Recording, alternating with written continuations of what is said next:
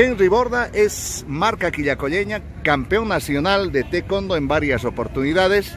Hoy todavía está en el mundo del deporte, pero también paralelamente con la farándula, la cultura, eh, la noche, la bohemia quillacoyeña. ¿Cómo estás, Henry? Un gusto de tenerte.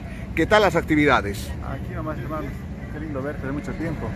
Para nosotros. Es un verte y es un placer también, digamos, eh, conversar contigo aquí un momentito en la plaza. La Plaza Bolívar, ¿no? Casualmente nos vamos a encontrar y qué lindo de verdad encontrarte. Bueno, vamos a recordar esa época del taekwondo. ¿Qué años ha salido campeón nacional?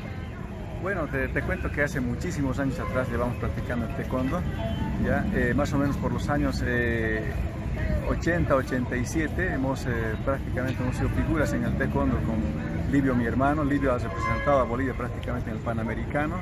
Yo eh, por muchas condiciones no he podido prácticamente representar al equipo boliviano, pero sí, digamos, he salido campeón departamental, campeón nacional muchas veces y pues aquí estamos.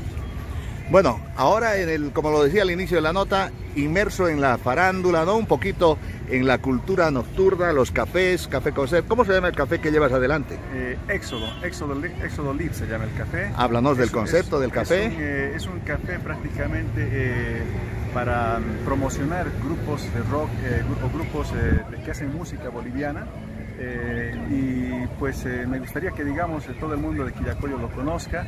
Este fin de semana eh, particularmente tenemos dos, dos, conciertos, un grupo boliviano que hace música blues, blues eléctrico, blues eléctrico es el nombre del grupo, hace música uh, rock clásico también y el día sábado vamos a tener la, la, visita de dos hermanos que son de Francia, ellos hacen música propia, son compositores. Franceses. Franceses, exactamente. Van a venir aquí a Francia también, ¿no? Van a venir a Francia, a, Francia. a la capital de Francia, a visitarnos y van a hacer música. ¿Qué tiempo de música tendrá en Éxodo el sábado con los franceses? Eh, van a hacer, eh, prácticamente hacen dos tandas, una tanda de, de, media hora más o menos, otra tanda de media hora, prácticamente una hora.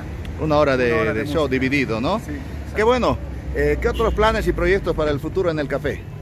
Eh, queremos que prácticamente el café esté inmerso en la, en la, en la juventud quillacoyeña, en todos los que digamos somos de Quillacoyo y pues eh, eh, prácticamente, como te dije anteriormente, es la, la, la, idea es promocionar, promocionar grupos bolivianos, grupos que hacen música boliviana, música rock, música blues e invitamos también digamos a otros, otro tipo de artistas, ya sea digamos en baile, en, en jazz moderno y eso para que puedan venir, ¿no? Las puertas están abiertas. Exacto. ¿Qué tipo de bebidas?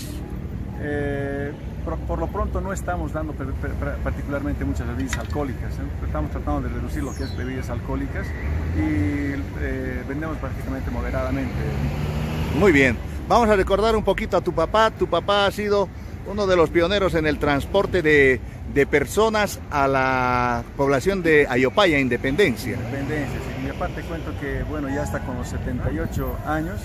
Eh, él eh, prácticamente se mantiene muy bien. Don Leónidas, ¿no? Don Leónidas ha dejado, ha dejado, ya hace mucho el transporte y está viviendo una vida familiar. De retiro, digamos, ¿no? Pero ha llevado cientos y miles de pasajeros a Independencia todas las semanas. Así es, hasta ahora lo recuerda mucha gente, sí. Bueno, a ellos hay que mandarles entonces un saludo y decirles que tu papá todavía está vivito y coleando. Gracias Henry, hasta la próxima. Ok, hasta la próxima Víctor, un gusto.